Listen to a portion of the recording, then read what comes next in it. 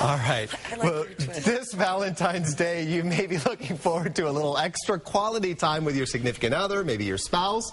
Well, Barbara Raphael, the owner of Le Fou Frog, is here to give us a menu, uh, item that they can hopefully set the mood, and hopefully you can have a great Valentine's Day uh, tonight, and maybe even this weekend if you can't make it out tonight. Thank you so much for being on the show. Well, thank you for having yeah. me. So I hear that your restaurant was rated as one of the top five most romantic places in Kansas City. Yes, it Yeah? has. Tell us about the mood in there. Well, um, Le Fou Frog is very quaint and charming. You actually feel like you're in a French bistro Okay. in France. And um, it turns out all our food always has had aphrodisiac properties. Okay. So for Valentine's Day, we just amp it up and we just Nice. Make it even on. more. We make it All easy right. for people when they go home. All right, so introduce us here to, um, is this your uh, bakery chef or This like is my partner in crime, partner Susan crime? Peters. All right, nice to meet you, Susan. So tell us what you're making. I'm making chocolate truffles, which we hand out to all of our guests at the end of their meal. Nice. Or if uh, they feel like after their big meal, they're um,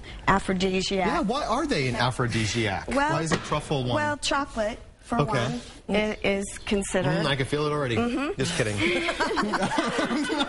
and um, Stay back, sir. then there is a little a, a little bit of liqueur in there. You can you do dark chocolate and cream, and then liquor of your choice. How do you make this? Can you make this at home pretty easily? Anyone can make it at home. Yeah, You- so what would you do? What are the ingredients? You just take um, good chocolate. Okay. And you melt it in some cream very slowly so you don't scald it. Okay. And then when it sets up, you put it in something to refrigerate.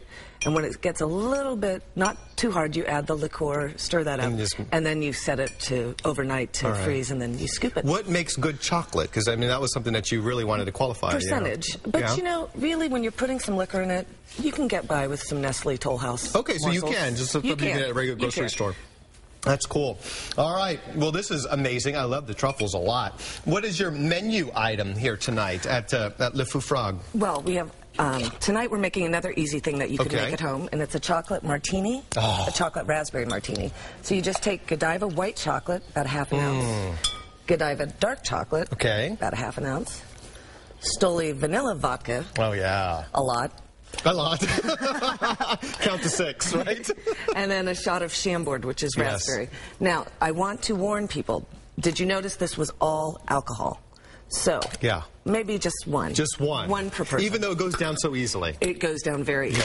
Yeah. Okay. So um, this should just get Okay. you, you know, mellow and happy. Yeah. I love that. Lower the inhibitions. Exactly. And the aphrodisiacs there, chocolate. And then oh, that looks Susie great. likes to garnish it with a little chocolate truffle instead of an oh. olive. Oh, is that right? Yes. Okay, let's go ahead and put this on and we'll finish this up. So that was an easy, easy, easy drink to make. There you go. We leave all the hard stuff to the savory chefs.